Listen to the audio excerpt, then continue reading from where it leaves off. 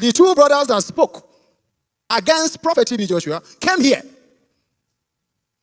They were the one that started all terrible things you are talking about here. They went to members asking them for money, asking for this, doing this and doing that. Polluted other workers to rise against the ministry.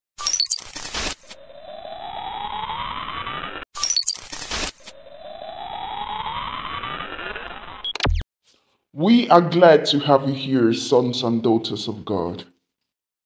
Today is about these two brothers, of which their faces would definitely be familiar with us because of the viral video on the BBC platform.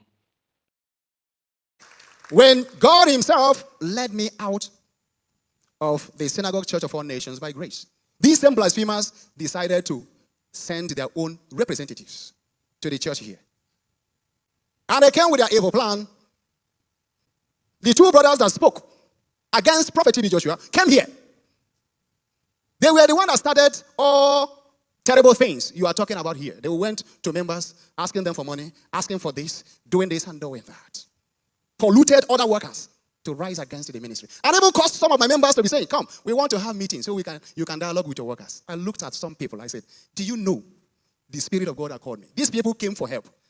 And they're calling me to come down and have meeting with people that need my help. It's an insult.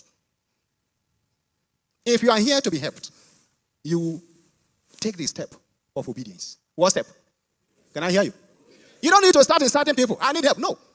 If you want to be helped here, what step are you supposed to take? The step of what? Obedience. Simple. Step of holiness, sincerity, obedience, self control, and the like. Just display the fruits of the Spirit of God. You don't need to tell me. God, who called you, who invited you to come here, will inform me.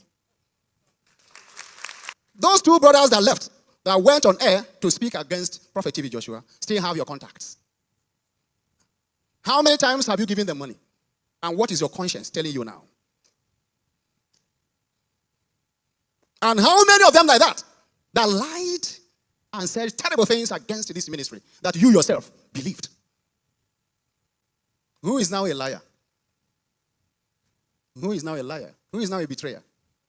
If you come to this place to incite me, to try to incite me to work against my master, and you see that you can never try that, you must go. You must do what? What you plant is what you will reap. When they were, when they were talking and rumoring all kind of evil against me, how many of you stood up to say, this man is not like that? At least you know my encounter with you personally. How many of you? How many of you were able to stand to defend the truth? Why did you not do that? How many of you spoke out? God said, I have found David, a man after my own heart. For he will do anything that I've commanded him to do. Are you not looking at it? Prophet TB Joshua did not make mistake by raising wise men.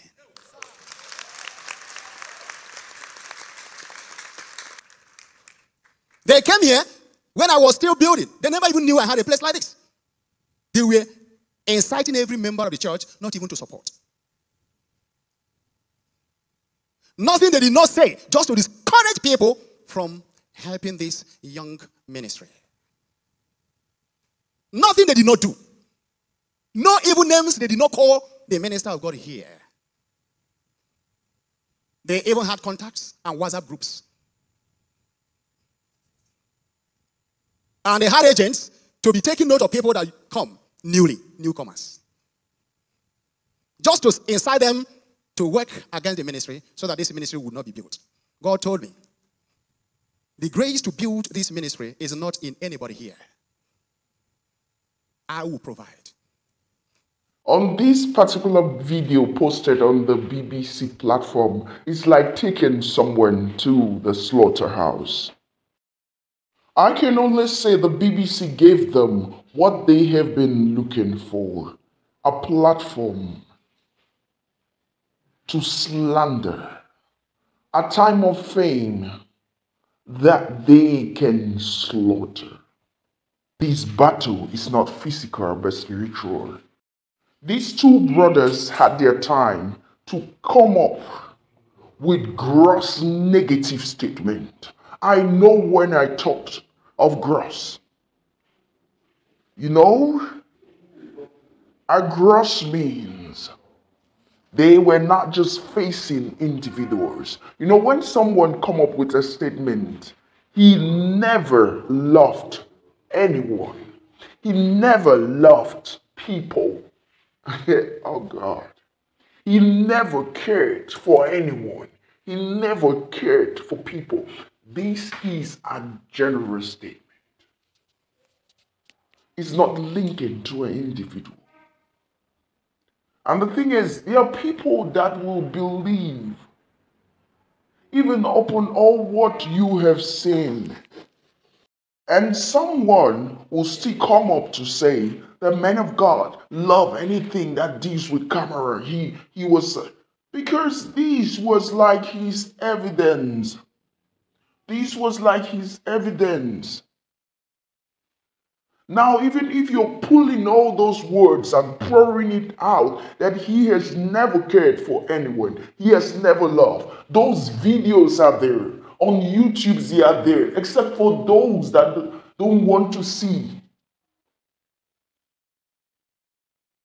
It's like how the, the our generation has, has is using video as their own evidence. They are using even if someone wants to do something to you, just pick up your phone and videotape.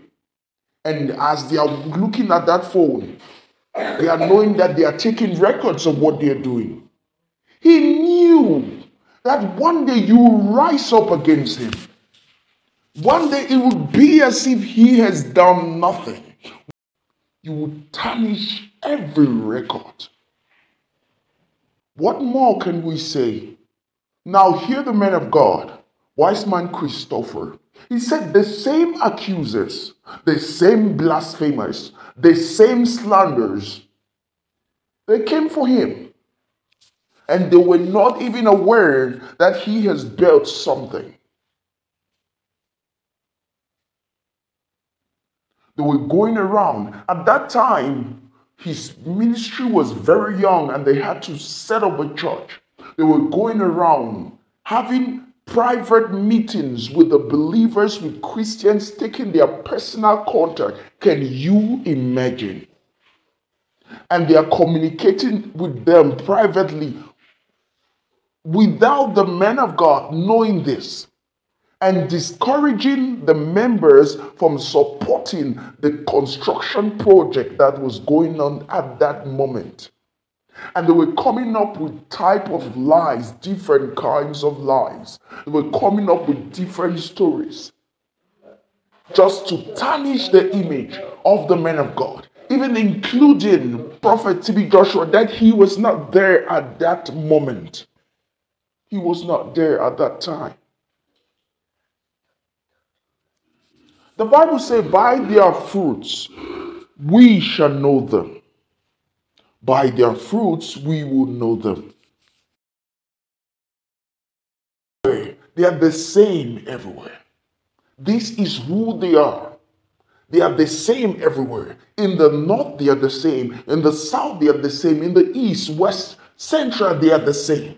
They cannot come to you, even if they want to pretend, they'll pretend just for a short season. And the real true colors of who they are, who portray, because that is who they are. We call it a vagabond spirit.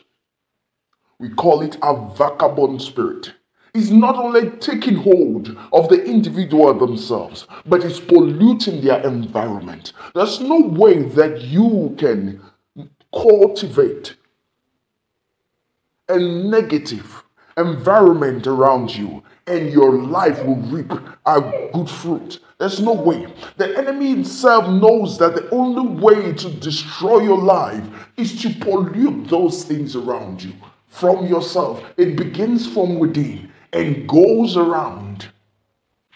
And now we can see it's not just like an enemy to those that they are speaking against. No, they are enemies to themselves. They are enemies to their own very life. They are enemies to their soul. They are enemies to their family around. For this is the handiwork of the devil. Now, hear what the man of God, wise man Christopher said. He said they will go around taking personal contacts of members in the church and asking them for donation. So then these characters is upright. And asking Christian to donate, to send money directly to them. And this was the same case. This was her case. Bisola had this same case. Remember of the man from the US. He said the same thing. For we should know as body of Christ. They are not enemies to the ones that they are speaking against. They are enemies to the very to their own very self. It's a spirit that is against yours, your very own growth. It's not about those that they are speaking against because they will always have their way to flourish. When the Lord has blessed you, He has blessed you. He said, Who is he to declare a thing? And it come to pass that the Lord has not commanded. Who is he? Slanderous tongues, vagabond spirit.